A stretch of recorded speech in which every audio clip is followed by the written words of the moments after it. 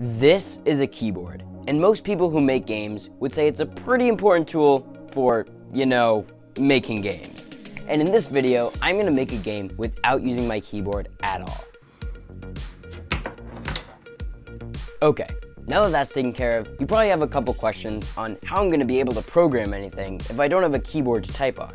And I have some clever and really inefficient workarounds to this, but telling you now would be ruining the fun.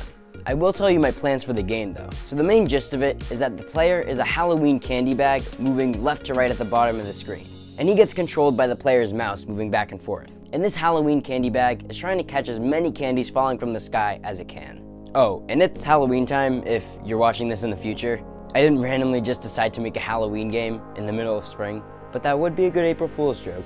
Oh, and one more thing, I'm giving myself till midnight to finish this game. And if I don't finish, I lose and it's about 5.30 right now. So anyways, let's get going. Our journey starts with the first challenge, opening Unity Hub. That was easy. Okay, our next challenge is making the actual project. So we just click New Project and then navigate to a spot where we want to put our folder and... Wait a minute, I can't rename my folder anything because I can't type.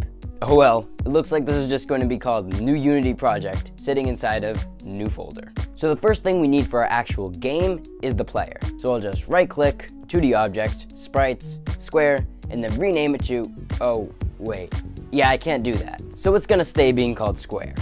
Oh, and if you think this is gonna be a problem, just wait till I start programming. That's when the real fun begins. And speaking of programming, we need our player actually following our mouse. And in order to do that, we need programming. So let's go add component, new script, and well, I guess it's just gonna have to be called new behavior script with the British behavior, but I've accepted that. Okay, in case you've never programmed before or used Unity, what you're seeing now is auto-generated template code that Unity provides us. Usually when programming, it's really nice to have, but I mean, you could just type everything you see. But in this challenge, it's absolutely essential. And there's another thing pretty much vital to this challenge as well, that you may have never even known you could do. So you know Control C and Control V? You can actually do those same things with the mouse. You just have to right click and go all the way down to copy, and then left click, and then right click, go all the way down to paste, and then left click again. This is an insanely inefficient method that you should never ever ever ever ever use unless you only have a mouse. So if you haven't put two and two together yet, what I'm gonna do to program is highlight a letter from the template document that Unity gave me, copy it, and then paste it in the spot that I need, and then letter by letter, I'm gonna program exactly what I want programmed. I hope that made sense. What you're watching now is a sped up version of me writing float pause using this copy and paste letter by letter method. I don't know why I'm doing this, because I really don't need it for the game, but I am. So as you can see, it's taking quite a while but there's a way we can speed this up a lot. And I'm talking about a method that's even more efficient than Control C and Control V. Can I get a drum roll please for the savior of this game and by association my own sanity?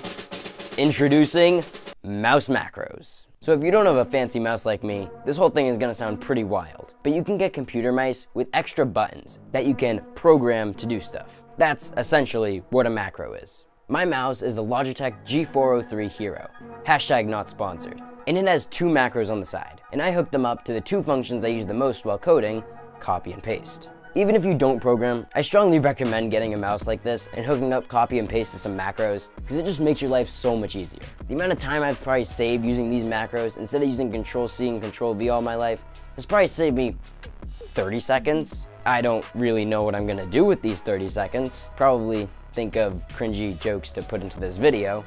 Oh, like this one. What did one ocean say to the other ocean? Nothing. It just waved.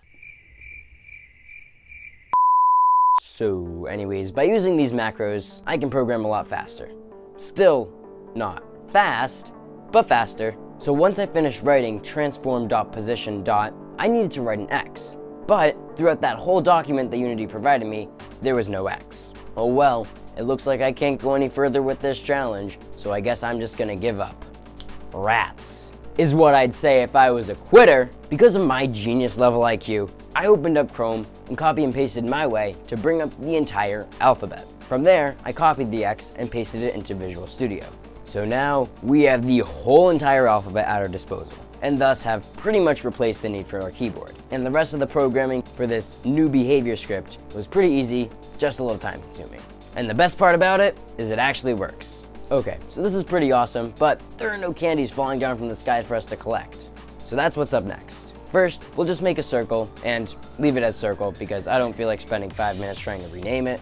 And next, we're just gonna add two components that Unity already provides us, Rigid Body 2D and Circle Collider. And these two components together will pretty much make our candy obey the laws of physics. And voila, now our candies can fall and actually collide with our bag. We do, however, need a tiny bit of programming just for when the candies collide with the player or when they fall off screen so they can get destroyed. So this script is gonna have to be called something different because otherwise Unity is gonna get confused. So instead of confusing Unity, I'm just gonna confuse myself and call it new behavior script, but with two T's this time. And because I don't really have anything else to say right now, I'm smelling a mouse programming montage in three, two, one, go.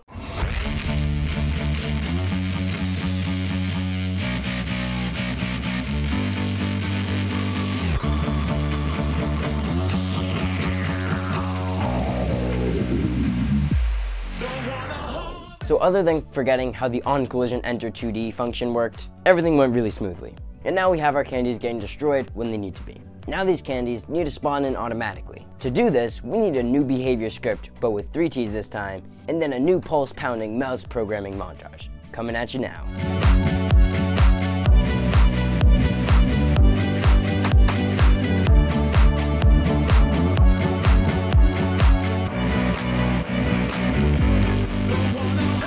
Awesome. Every three seconds, a new candy falls from the sky. But there's no penalty if the player misses a candy. So what I think we should do is give the player 10 lives and take one life away each time the player misses a candy. And to display this, I'm going to use a slider that Unity gives us in the UI menu. We will need to do a tiny bit more programming. So we need a new behavior script, but with four T's this time. And now another mouse program montage. Now.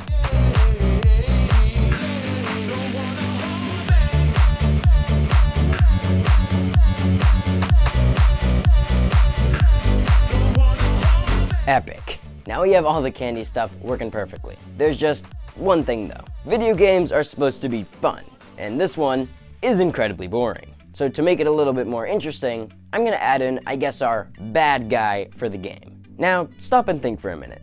What is the biggest danger on Halloween night? Is it cars on the road? No.